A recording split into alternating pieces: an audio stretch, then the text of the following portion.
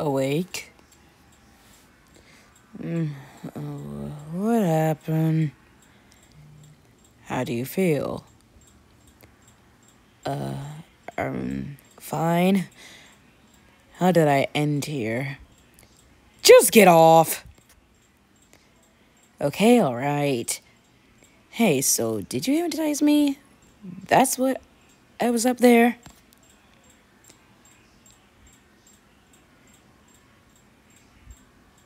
Yeah.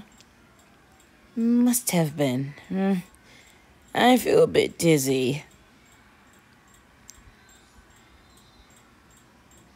Going somewhere? Yeah, I did. I don't know. To walk it out or. Or. Seventh? Stop. What? What? What was that? You said I was. I could practice with you. I was trying to do some commands.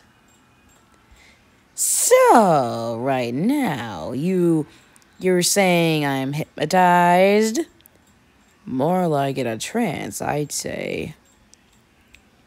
Alright, that's no way. Heal. What? Yep, that was incredible. You're lying?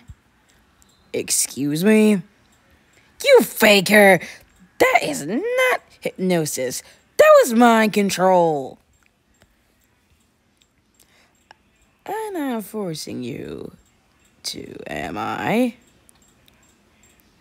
Well, no, but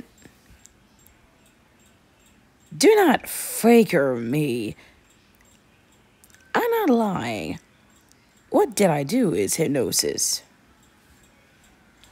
But hypnosis is for small, weak minds, weak people. And I'm weak. You put a worm on my brain or something. I did not. You allowed me to, remember? And even then, it wasn't easy. I know what. I know that if you had want to, you could have easily resisted to it. Of course, you're not a weak. You're an idiot. Did allow it, did I? Yes, you did.